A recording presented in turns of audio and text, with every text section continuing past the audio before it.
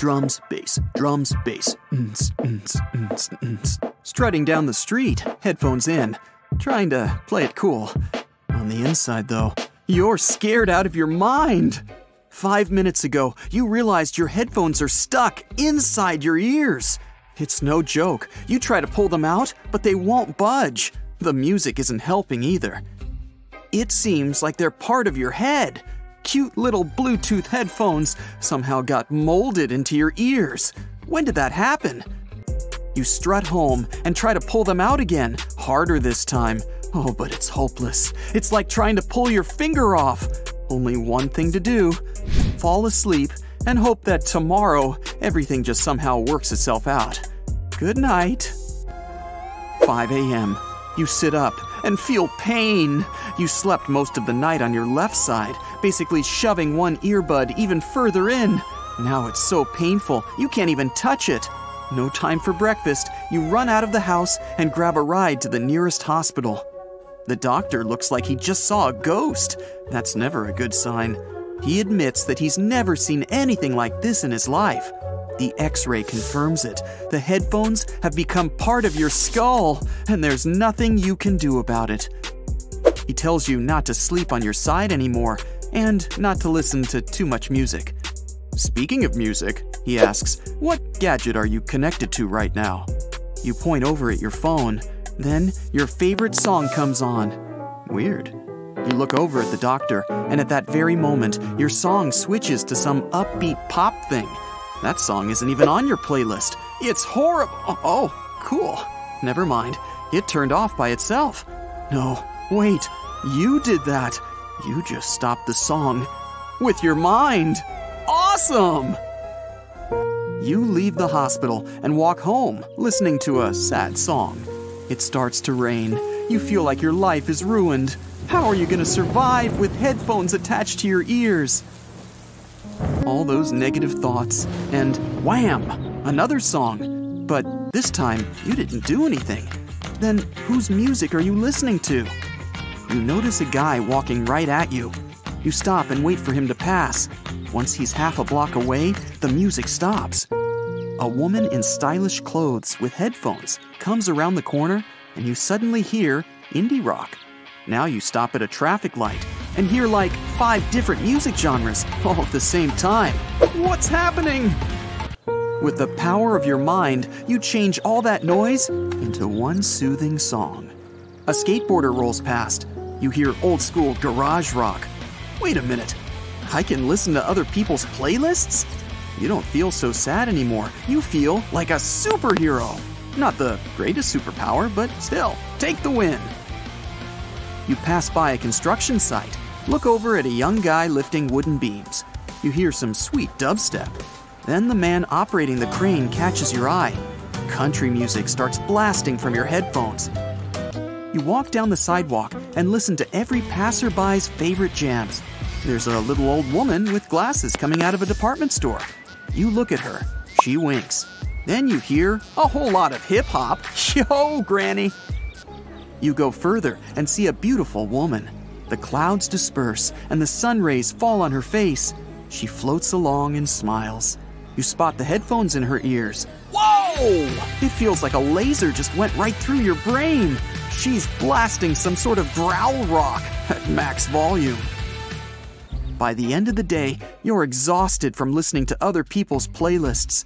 Time for a bit of well earned silence. Your ears are super itchy, but you can't get your fingers in there. The skin on your ears is getting kinda irritated. This superpower is getting worse by the minute. The next day, you try to wash out your ears, so you pour water in, but nothing comes back out. Oh, that's bad.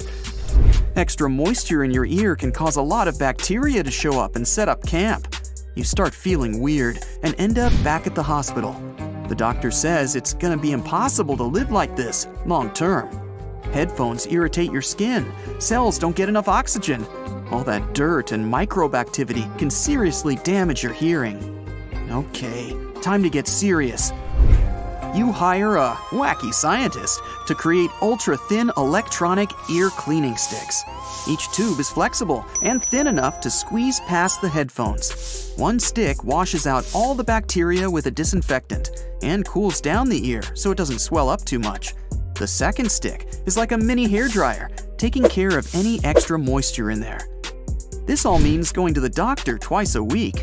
After a month, you find out that your hearing's getting worse, bit by bit. Those little sticks aren't doing anything. Your life starts to feel like a constant, random playlist. You can't even sleep through the night anymore. At 3 a.m., a car passes by and you hear some quirky synth pop. The neighbors come home late and wake you up with their We Made It Through Another Day epic 80s playlist. You can control what you hear, but only if you're awake. Time to take drastic measures. You rent a house on the edge of a forest where no one can bother you. Now that you can finally sleep, you start to realize that it's super interesting to listen to other people's music. You start to understand them much better. You have this friend who's always joking around and loves to have fun, but for some reason, his playlist is all sad, dark songs. One day you decide to talk to him heart to heart.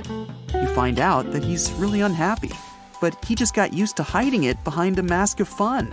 After a few weeks of hanging out together, you start to hear good positive music on his phone. Hey, you did that. Soon, you decide to put the music on pause. Now you're all into podcasts and educational audio courses. You pick up new languages insanely fast since you can just have them on 24 7. You enjoy everything from quantum physics lectures to interviews with Formula One drivers. Your headphones make you incredibly smart. One day, while listening to lessons about renewable energy sources, you start to wonder how do your headphones still have a charge? Shouldn't they have turned off ages ago? Huh. You roll up to the nearest physics research center and tell the scientists about your unique case. After a bunch of research, it turns out your headphones get energy from tiny electrical charges created by your body. They also tell you that your skin and cartilage have fused to the rubber and plastic of the headphones. They're now officially an organic part of your body. Your ears adapt to the new conditions and develop their own immune system. You no longer need to go to the doctors for a cleaning. All you gotta do now is wipe the outer part of the headphones. No more worrying about your health 24 7. Woohoo! One night, you're listening to classical music, and suddenly it turns off you hear a bizarre, muffled sound. Are those human voices? Or some sort of machine? Or animal?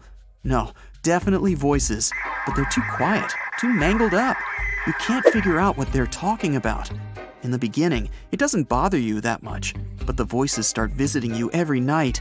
They speak different languages. The whole thing is just plain creepy. You're scared.